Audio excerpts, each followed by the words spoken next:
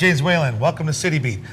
This episode, we're uh, glad to be joined by uh, Randy Volin and Sonic Blues, and I'm joined here by Randy Volin. How are you, Randy? Hi, James. Great to see you. Randy and I have known each other for a long time, been on the blues scene for a long time. Uh, why don't you tell everybody, just in case they haven't seen you, um, a little bit of your background, where you started, uh, some of the bands you've been in, and just give people an idea where you're coming from. Well, I started playing a long time ago, about 1975. And the first band I got lucky with was a band called The Look, which I started in 1976. Wow, that long ago. Can you believe it? And uh, played from 76 to 86 before I got out of that situation. And after that, and that was a rock and roll band, The Look. And, uh, they had a couple of hits. And uh, after that, basically jumped right back into the blues. And been doing that ever since, which is 1986 till now. Did you uh, did you start out playing the blues? Is that is that sort of, sort of where you, where you sort of came from? Your- Pretty much. I you know I used to go down to uh, this little club called Ethel's on uh, Mack and see uh, Albert King play Wow. when I was like 13 and 14. Be the only white guy in the club, and they would just see me coming. They'd go, "What's this little kid coming to a bar?" And and um, I'd walk in. I'd sit right down in front with my tape recorder right in front of Albert King and record it Wow. and go home and learn it. And then, uh, yeah, basically, I was a blues guy from the beginning because I remember my buddies that were playing guitar when I was in high school.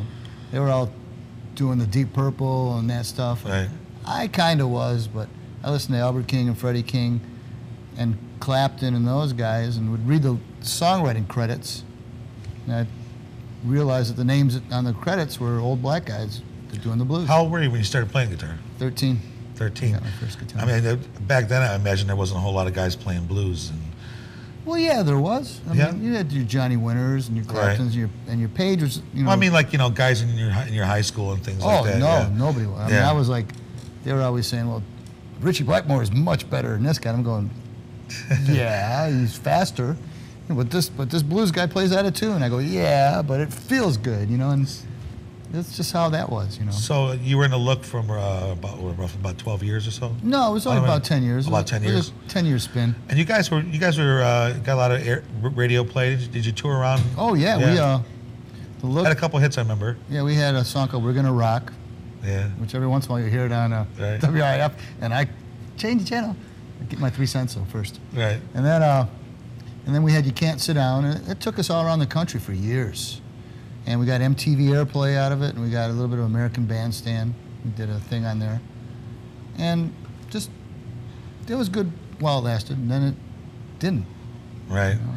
Well, I mean, uh, do you have a, have a sense now that you're part of uh, the Detroit music legacy, so to say? You know. A very tiny part, yeah. I mean, Well, I mean, um, you know, I mean, you've been playing live, you know, and and being a guitar player at some level, you know, for quite a long time. yeah. There's history. There's some history here. Uh, and then, uh, then how, how long have you had the Sonic Blues since then? About 1986, I think I started. Actually, what happened was um, I started with a band called the Hellcasters.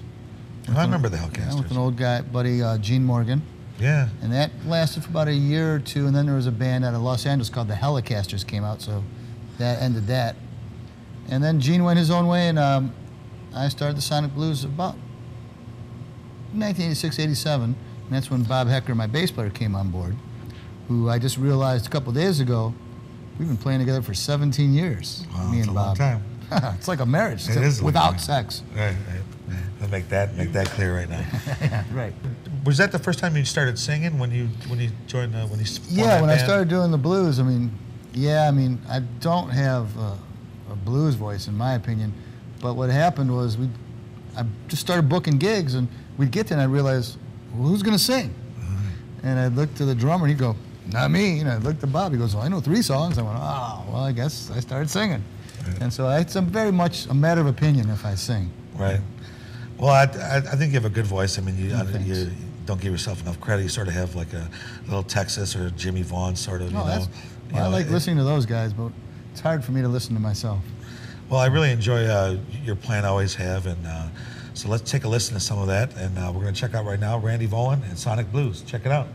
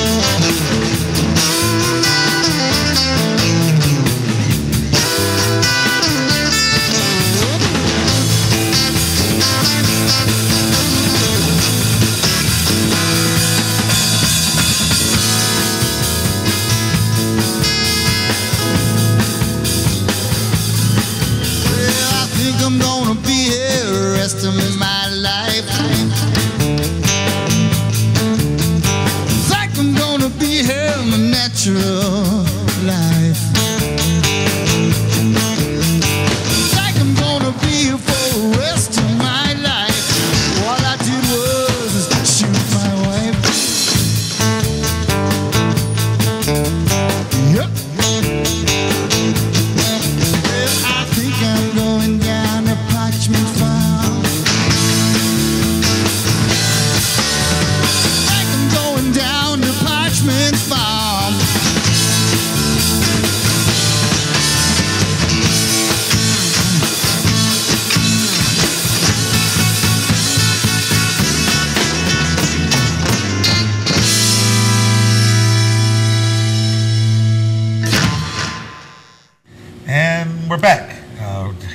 Randy Volin here at Fifth Avenue. Um, what made you choose like the Stratocaster? I know, I know there's a there's a thing that you know I always see you playing Stratocasters mostly, but uh, it's a unique sound. Well, I have lots of guitars. Um, I think uh, probably Jimi Hendrix. Right. That's uh, the first new guitar I ever bought was back in '73, and it was a Stratocaster, and I hated it because it was probably new. So, Right. uh, uh, in fact, I bought it at a mu- there used to be a music store right around the corner from here called Anderson Music, which is no longer there, and. Uh, I bought it and hated it, and they wouldn't take it back, you know, because I was a young kid who paid cash for it, you know, and so I was like miserable. So I just sold it. I ended up buying an old Strat that was used, and it just felt right. And ever since then, I would buy a guitar and never sell them.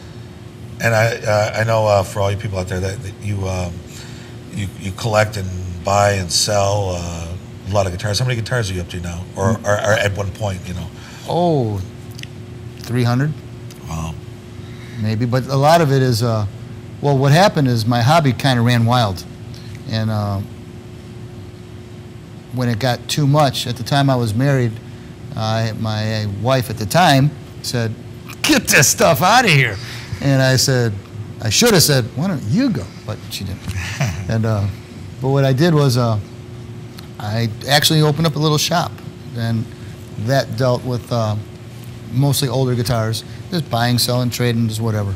Right, and you have a, a, a guitar store. Uh, the store is in Lake Orion, and it's called Rockin' Daddies. And it's a cool little place. We're online, just www.rockindaddies.com.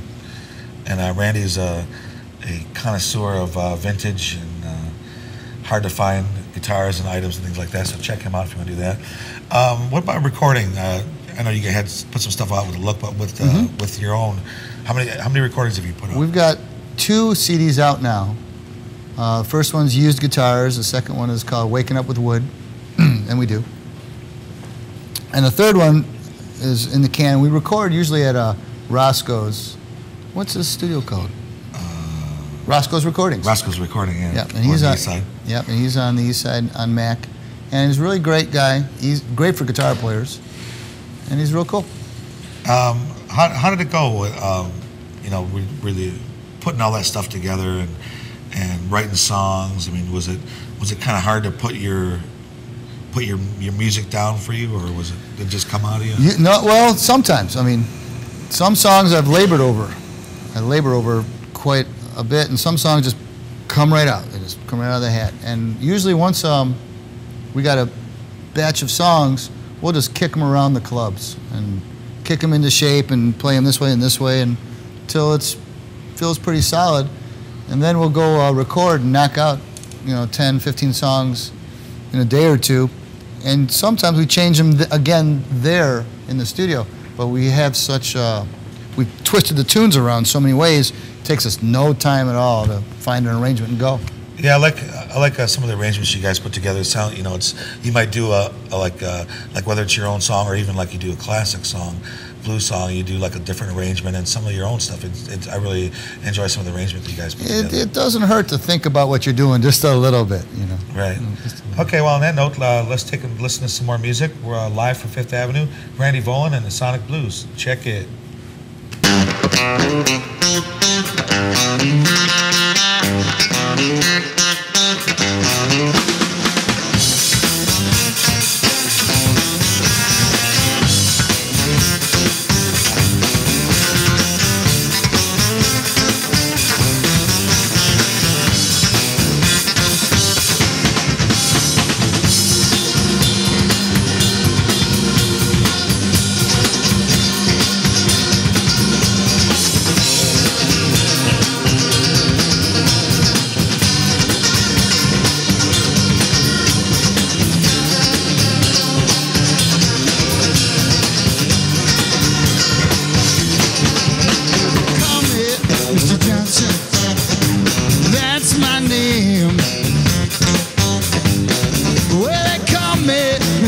Mr.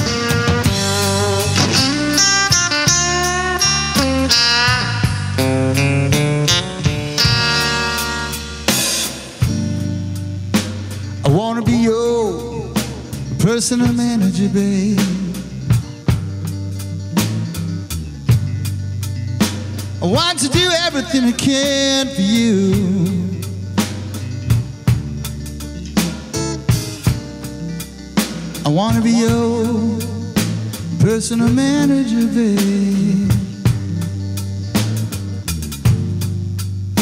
I want to do everything I can for you.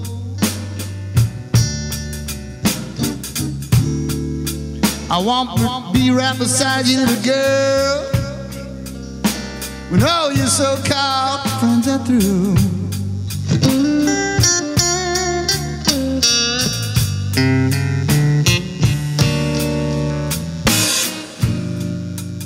If you sign my contract, baby, all your worries will be over for you.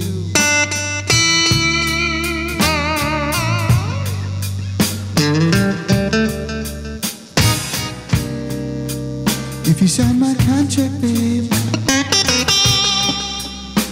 all your worries are over for you.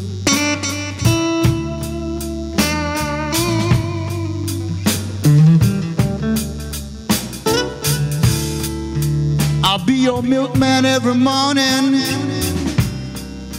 your ice cream man when your day is through. Oh, yes, I will, honey. Come back home where you belong.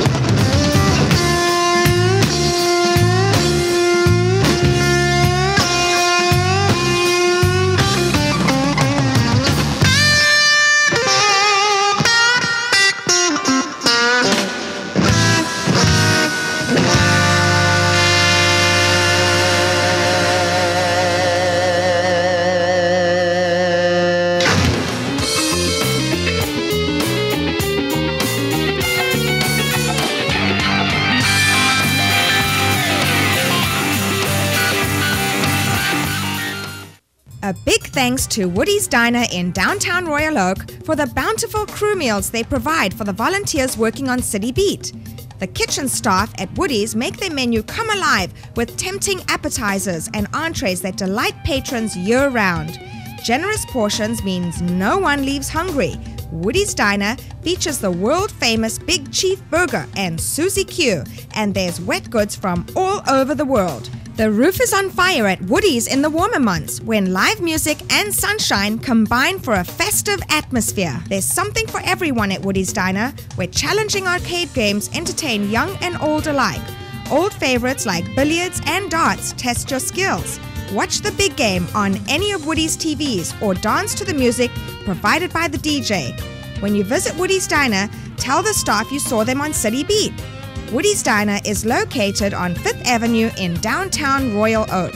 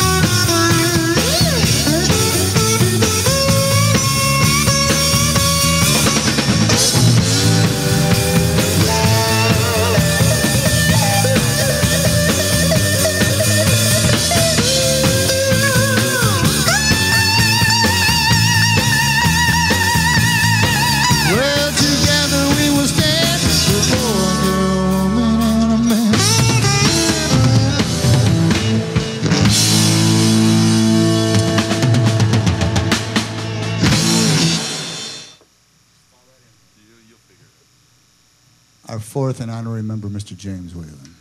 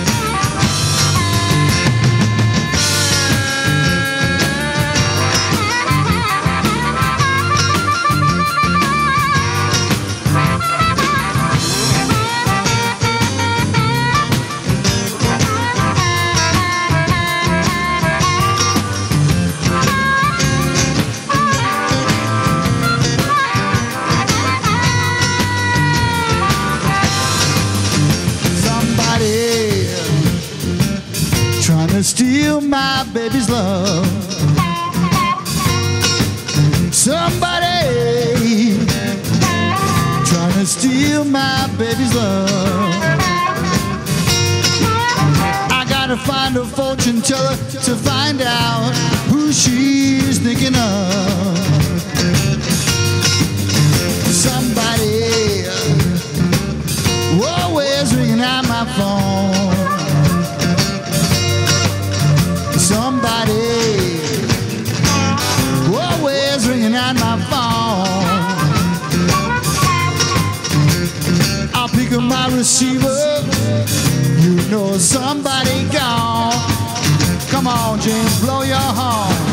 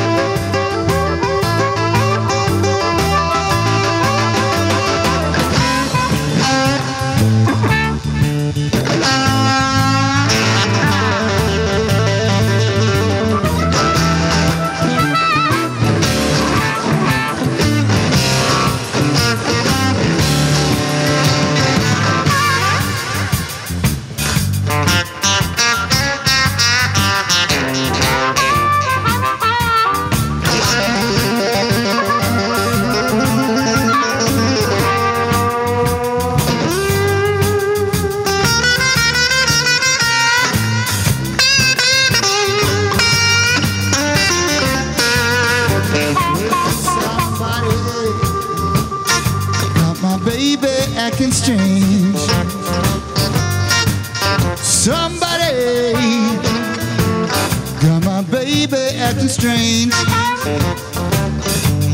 Oh, I don't know why. She likes to wear them whips and chains. Somebody always ringing on my phone.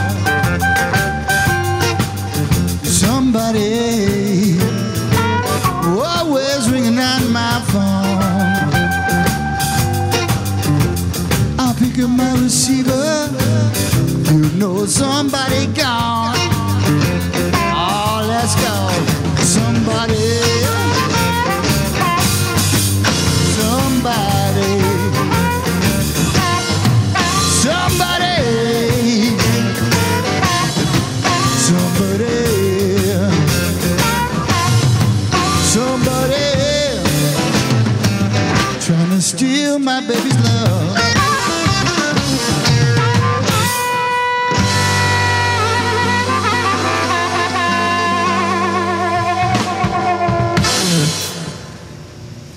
Hi, we're back, and we're joined now by Bob Hecker from Randy Volin Sonic Blues.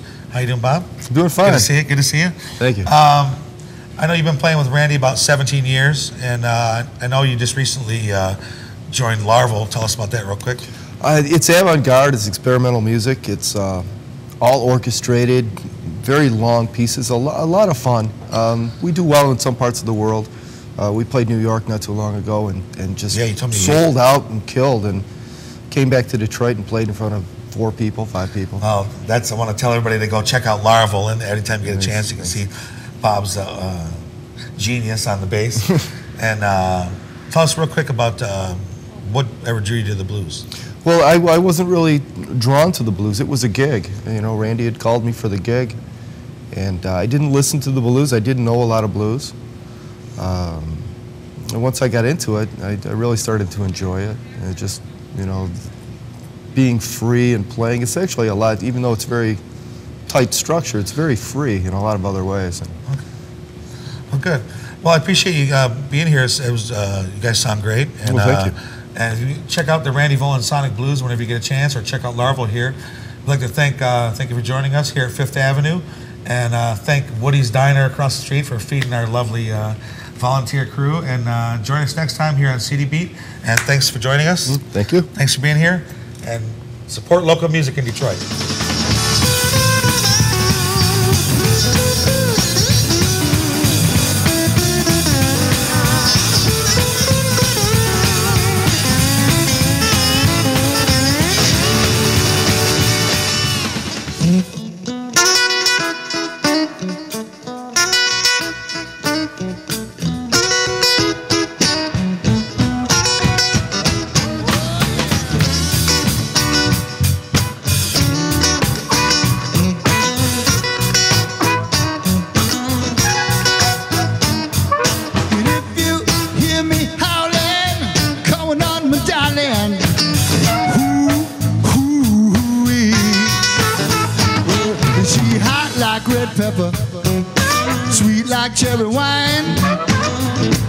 Glad you love me, loved me